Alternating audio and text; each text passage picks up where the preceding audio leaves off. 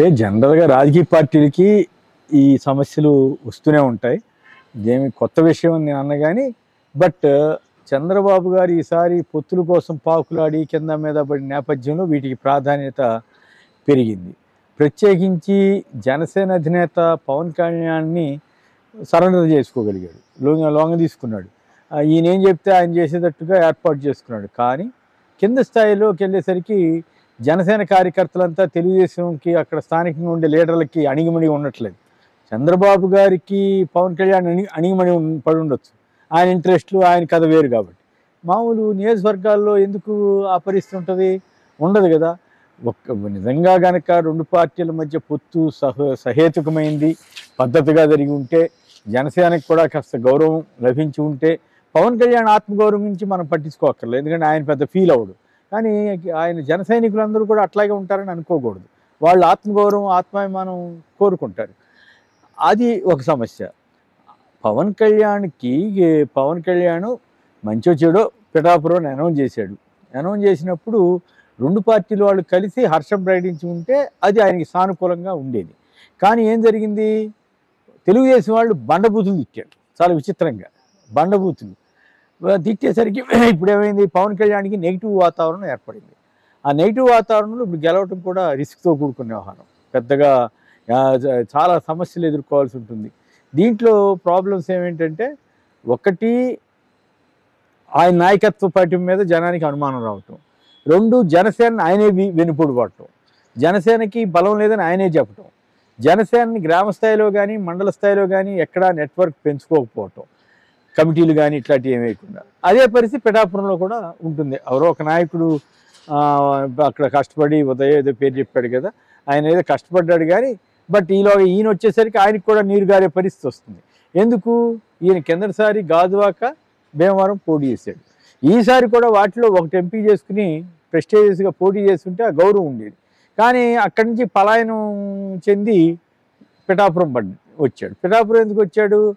గాజువాక భీమవరంలో కంటే కూడా పిఠాపురంలో ఎక్కువ మంది కాపులు ఉంటారు అనేటువంటి భావంతో వచ్చాడు. పోనీ కాపులకి ఏమైనా న్యాయం చేశాడంటే అది లేదు. పైగా కాపులంతా కోరుకుంటుంది ఏంటి? ఒక కాపు నాయకుడు ఎవరైనా సరే ఒక నాయకుడత్వ స్థాయికి ఎదిగిన వాళ్ళు ముఖ్యమంత్రి కావాలనేది వాళ్ళ కోరిక.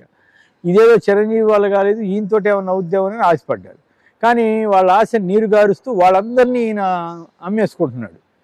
వాళ్ళందరి అభిమానాన్ని ఈయన తెలుగుదేశానికి అమ్మేసుకున్నాడు. ఆ ఫీలింగ్ ఏర్పడింది. దాంతో ఏమైంది? అక్కడ కూడా కాపులంతా కూడా వేస్తారనే గ్యారంటీ లేకుండా పోయింది. ప్లస్ అక్కడ ముద్రగడ పద్మనాభం ఫ్యాక్టరీ ఒకటి. ముద్రగడ పద్మనాభం గారు తాజాగా వైఎస్ఆర్ కాంగ్రెస్లోకి వచ్చారు. ఎందుకంటే గత ఐదేళ్ళలో కాపు నేస్తం పేరు మీద వైఎస్ జగన్ గారు తను ఏం చెప్పారో ఆ రకంగా కాపు మహిళలందరికీ ఆర్థిక సాయం చేశారు. ముద్రగడ గారికి ఆ సంగతి తెలుసు.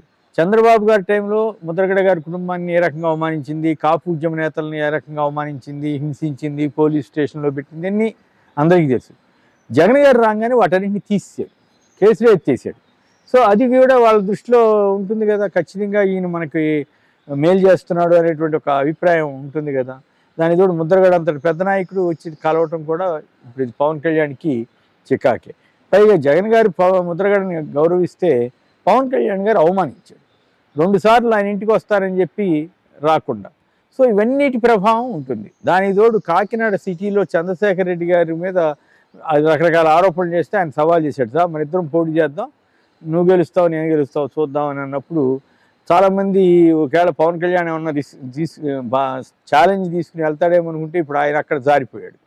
అక్కడ జారిపోయాడు గాజువాక జారిపోయాడు భీమవరం జారిపోయాడు. చివరికి వచ్చేసి కాపులు ఎక్కువ ఉంటారనే ఒక ఫీలింగ్ తోటి తన నాయకత్వాన్ని చివరికి ఒక కులంలో కూడా పూర్తి స్థాయిలో కాకుండా అక్కడ వాళ్ళు ఓట్ల కోసమని వెళ్ళే పరిస్థితికి తెచ్చుకున్నాడు. సో దాంతో ఏమవుతుంది? ఇప్పుడు తెలుగుదేశం వాళ్ళు తిడుతున్నారు. వర్మన్ ఆయన ఏం చేస్తాడో తెలియదు ఇప్పుడు ఏదో మీటింగ్ అది పెట్టుకుంటాడని అంటున్నారు. ఒకవేళ ఆయన తిరుగుబాటు చేస్తే ఈయనకి గండమే గడ్డు పరిస్థితి ప్లస్ మరి వైసీపీ వాళ్ళు వంగా గీత గారికి ఇచ్చారు. ప్రస్తుతం ఎంపీగా ఉన్నారు. మరి ఆవిడనే ఉంచుతారా? ఇంకెవరన్నా అంతకంటే గట్టి పోటీ ఇస్తారు అనుకుంటే మారుస్తారా? బట్ ఇప్పటికైతే మారుస్తున్న సంకేతాలు కూడా ఏమీ లేవు. బట్ రాజకీయాల్లో ఏమైనా జరగవచ్చు. ఆ- ఆవిడ స్థానికంగా అందుబాటులో ఉంటారు. ఆవిడ కానీ అక్కడ లోకల్ వైసీపీ వాళ్ళకి కానీ గెలిచారు. అంతకుముందు కూడా ఒకసారి గెలిచారు రెండు వేల తొమ్మిదిలో. ఇప్పుడు ఈ ఈయనేమో అందుబాటులో ఉండడు. ఈయన మామూలు రోజుల్లోనే షూటింగ్ ఉంటే ఇక్కడే ఉంటాడు కానీ షూటింగ్కి షూటింగ్ గ్యాప్లోనో ఎప్పుడో నెలకో రోజు రెండు రోజులు వెళ్ళేసి వెళ్తాడు. మరి సినిమాలు కూడా సైన్ చేశారు. సో చేసినప్పుడు న్యాచురల్లీ రేపు పటాపురంలో గెలిచినా అక్కడ ఎవరిని పట్టించుకునేవాడు ఉన్నాడు. ఈయన ఎవరినో పెడతాడు వాళ్ళ చుట్టూ తిరగ తిరుగుతారు తిరగాల్సి వస్తుంది. అది తిరిగినా కూడా పనులు అవ్వు ఇట్లా చాలా సమస్యలు ఉంటాయి. ఇంకోటి ఏమిటి?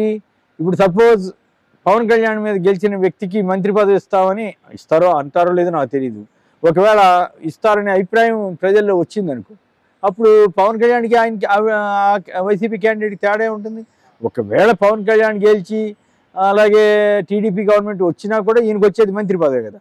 నేనేమి ఆ రెండు గెలిస్తే నేను అంటలేదు. ఎందుకంటే గెలిచే అవకాశం లేదు. సర్వేల ప్రకారం కానీ ప్రజాభిప్రాయ ప్రకారం కానీ పేద వర్గాలన్నీ జగన్ గారికి చూపుతున్న అండ వల్ల కానీ అయినప్పటికి కూడా ఆ రకంగా ఆలోచించినా కూడా ఈయనకి నెగిటివ్ మార్క్ వస్తూ ఉంది సో ఈ అదే కాకుండా ఈయన రాజకీయంగా అజ్ఞానంతో మాట్లాడుతున్నాడు. సంక్షేమ పథకాలకు అప్పులు చేస్తే నాశనం ద- రాష్ట్రం దెబ్బతినిపోయింది. మేము వచ్చి అభివృద్ధి చేసి అప్పుడు వచ్చే డబ్బులతో చేస్తాం. అంటే ఇప్పుడు ఉన్నటాన్ని రద్దు చేస్తానని చెప్పటమే కదా. మరి ఆ మాట చెప్పకుండా చెప్తాడా? మళ్ళీ దీన్ని ఇప్పుడు ఇస్తున్న దానికంటే మూడు రెట్లు ఎక్కువ ఇస్తామని అబద్ధాలు చెబుతున్నారు కదా. సో ఈ రకంగా వాళ్ళలో వాళ్ళకే పరస్పర విరుద్ధమైనటువంటి వ్యవహారంగా నడుస్తూ ఉంది. వాళ్ళకు ఒక క్లారిటీ లేదు. ప్లస్ వాలంటీర్లు నేను తిట్టిపోశాడు. నాన్న అసహ్యంగా మాట్లాడాడు. ఇప్పుడు వాళ్ళందరూ కూడా ఖచ్చితంగా వాళ్ళ వాళ్ళ స్థాయిలో వాళ్ళు రాజకీయంగా కాదు. మామూలుగా వాళ్ళకున్న అనుబంధం రీత్యా వాళ్ళ మాట ప్రజలు వినే అవకాశం కూడా ఉంటుంది. వాళ్ళు చెప్పినా చెప్పకపోయినా వాళ్ళు ప్రజలకు అందిస్తున్న సేవల రీత్యా వైసీపీ వైపు మొగ్గు చూపే అవకాశం ఉంటుంది. సో అప్పుడు అది కూడా నష్టం చేస్తుంది. సో ఇవన్నీ ఫ్యాక్టర్స్ చూసిన తర్వాత ఓవరాల్గా పవన్ కళ్యాణ్ ఇప్పుడు రిస్క్లో పడ్డాడు అనేటువంటి అభిప్రాయం కలుగుతుంది. అదే పిఠాపురంలో ఈ వారాహి యాత్ర మొదలుపెట్టినప్పుడే ఈయన ఇక్కడే పోటీ చేస్తాడు కాబోలు అనుకున్నాం. అక్కడే అక్కడి నుంచే స్టార్ట్ చేశాడు కాబట్టి. కానీ అది డైరెక్ట్గా అనౌన్స్ చేయడానికి ఎందుకో వెనకాడాడు. బహుశా చంద్రబాబు గారి దగ్గర పర్మిషన్ రాలేదు ఏమో తెలియదు బట్ ఈ అనౌన్స్ చేసి చేయటం లేట్ అయింది. అయినప్పుడు కూడా తనకంటూ నేను ఇక్కడికి వస్తానని చెప్పి అక్కడ లోకల్ క్యాండిడేట్కి కనుక ముందే చెప్పి అట్లాగే లోకల్ టీడీపీ వాళ్ళతో మాట్లాడుకుని జాగ్రత్తగా ప్లాన్ చేసుకుని వెళ్తే అదో పద్ధతి. ఎవరికి చెప్పకుండా చివరికి పార్టీ వాళ్ళకి కూడా చెప్పకుండా అనౌన్స్ చేసినట్టు సో ఇప్పుడు పార్టీ తరఫున ఖర్చు పెట్టిన వాళ్ళంతా వాళ్ళకేమి ఇస్తాడనే గ్యారంటీ లేదు. సో ఆ రకంగా వాళ్ళు నష్టపోతారు. టీడీపీ వాళ్ళు ఖర్చు పెట్టుకున్నారు. లేదు పవన్ కళ్యాణ్ వస్తాడు అనుకుంటే అది వేరే విషయం. వాళ్ళు సరే పవన్ కళ్యాణే ఖర్చు పెట్టుకునేవాడు వాళ్ళకి సహకరించేవాళ్ళు ఇది. ఇవేవి చేయలే. సడన్గా వెళ్ళి పారాచూట్ బ్యాచ్ అంటారు కదా ఆ రకంగా ఈయన కూడా దిగాడు. పైగా చంద్రబాబు గారు లోకేష్ గారు ఏమన్నారు? ఈ ఊళ్ళో చెత్త ఆ ఊళ్ళో పనికొస్తా అన్నారు. అన్నారు కదా ఈ జిల్లా చెత్త ఆ జిల్లాకు పనికొస్తా అన్నారు. మరి ఇప్పుడు పవన్ కళ్యాణ్ విశాఖపట్నం నుంచి పిఠాపురం వెళ్ళాడు. భీమవరం నుంచి పిఠాపురం వెళ్ళాడు. సో ఈ రెండు జిల్లాల్లో పనికిరాని చెత్త అక్కడ పనికొస్తుందా అని అడిగితే దానికి సమాధానం ఉండదు. సో ఇట్లాంటి చికాకులు కూడా ఆయనకు ఉన్నాయి. సో ఓవరాల్గా ఆ ఊళ్ళల్లో నెట్వర్క్ లేకపోవటం టీడీపీ ఎంతవరకు సహకరిస్తుంది అనే డౌట్ ఉండటం చంద్రబాబు గారికి కూడా ఈ నోటిపోతే సుఖం. ఎందుకు? ఈ మిగతా తలనొప్పులే ఉండవు ఆయనకి. ఆ, కొ- కొడుక్కి పోటీ ఉండదు. తర్వాత మంత్రి పదవి సమస్య కూడా ఉండదు. గవర్నమెంట్ రాదు అది వేరే విషయం. సో ఆ రకంగా ఆయన ఆలోచించే అవకాశం ఉంది తెలుగుదేశం వాళ్ళు కూడా. సో అది ఇవన్నీ ఈ ప- పరిశీలించిన తర్వాత ఓవరాల్గా ఇతని ఇతని తెలివి తక్కువతనం రాజకీయ అజ్ఞానం అట్లాగే నెట్ పార్టీకి తనే వెన్నుపోటు పడటం పార్టీని అభివృద్ధి చేసుకోకపోవటం వీటన్నిటి వల్ల పవన్ కళ్యాణ్ అక్కడ రిస్క్ తీసుకుంటున్నట్లుగా అనిపిస్తుంది. అయితే మామూలుగా అయితే గెలిచే అవకాశం ఉంది. మామూలుగా సింపుల్ మామూలు వాతావరణంలో అయితే. కానీ ఇప్పుడు నెగిటివ్ వాతావరణం డెవలప్ అయిన తర్వాత వైసీపీ కూడా చాలా ప్రతిష్టాత్మకంగా తీసుకుంటుంది కదా. అక్కడ వాళ్ళు చేసిన సంక్షేమ కార్యక్రమాలన్నీ అక్కడ కూడా ఉన్నాయి కదా. అక్కడ పేద వర్గాలు ఉన్నారు కదా. సో పవన్ కళ్యాణ్ అన్న ఆయన వస్తే అవన్నీ పోతాయి అనే ఫీలింగ్ వచ్చింది అనుకో. ఎందుకు గెలవనిస్తారు సో ఇట్లాంటి ఇప్పుడు ఇట్లాంటి ప్రాబ్లమ్స్ అయితే ఉన్నాయి. పవన్ కళ్యాణ్ ఏదో తన తన బొమ్మను చూసేసాడు ఆయన ఏమి రాజకీయ నాయకుడే కానీ రాజకీయ నాయకుడు అవతారం ఎత్తాడే కానీ అన్నడు జనంలో ఉండి పనిచేసిన వాడు కాదు కదా. ప్రజలకేం సేవ చేసిన వాడు ఏం కాదు కదా. ఊహ అంటూ ఉపన్యాసం ఒకసారి చెప్పిన దానికి ఇంకో విరుద్ధంగా ఇంకోసారి మాట్లాడేటాడు ఆ, ఇట్లా మాట్లాడేది తప్ప ఓ పద్ధతి పాడు ఉన్న వ్యక్తి ఏం కాదు కదా. ప్రజలు ఇవన్నీ గమనిస్తారు. అయినప్పటికి కూడా సీట్లు నలభై సీట్లు యాభై సీట్లు తీసుకోగలిగి ఉండి సీఎం సీటు సీఎం పదవి వస్తుంది అనేటువంటి ఒక ఫీలింగ్ ఉన్నట్లయితే కాపులు అవుట్ రైట్గా చేసిండే అవకాశం ఉండేది కానీ ఈయన ఇరవై నాలుగు తీసుకుని ఇరవై ఒకటి తగ్గి మళ్ళీ వాటిలో కూడా తెలుగుదేశం క్యాండిడేట్లని అప్పటికప్పుడు తీసుకొచ్చి పెట్టి మామూలుగా పొత్తులో మన ఇద్దరు ఫ్రెండ్స్ అనుకో. మీకు తెలియకుండా ఇంకో నీ మనిషిని ఎవరైనా తెచ్చి పెట్టుకున్నాను అనుకోండి. మీకు కోపం వస్తుంది కదా. అట్లా కోపం రాలేదు ఇక్కడ చంద్రబాబు గారికి. అంటే ఏంటి మ్యాచ్ ఫిక్సింగ్ అనమాట సో ఇద్దరు కలిసి డ్రామా ఆడుతున్నారనే సంగతి కూడా జనానికి అర్థమైపోతుంది. భీమవరంలో ఎవరికి ఇచ్చాడు? కిందసారి తన మీద పోటీ చేసిన వ్యక్తికి ఇచ్చాడు. ఆయన టీడీపీ అయినా. టీడీపీని తీసుకొచ్చాడు. టీడీపీ నుంచి నువ్వు ఎక్కడ తీసుకెళ్తావు చంద్రబాబు అడగల. ఈయన ఏమి మాత్రం ఫీల్ కాకుండా తీసుకొచ్చాడు. అక్కడ జనసేన వాళ్ళంతా ఏమయ్యేవాళ్ళు అప్పుడు? అక్కడ జనసేనకి నాయకులు ఉన్న- ఉండుండాలి కదా. అంటే జనసేన నాయకులు ఎవరు? అక్కడ పనికి వచ్చేవాళ్ళు లేరా? అసలు ఇది వచ్చిన ఇరవై ఒకటిలో ఎవరో చెబుతున్నారు. పది సీట్లు ఇట్టాటాళ్ళకే ఇచ్చాడంట ఇచ్చాడు ఇంక ఇంకేం పార్టీ? ఇదేం పార్టీ? బలం బలం అని రాస్తారు ఏ అవన్నీ ఆంధ్రజ్యోతి ఈనాడు మరి పచ్చి రాస్తాయి మనం ఏం చేయలేం కానీ. బట్ ఇవన్నీ చూస్తే రిస్క్ అయితే ఉంది. మరి రాజకీయ పరిణామాలు వచ్చే నెల రోజులు ఏం జరుగుతాయి అనేది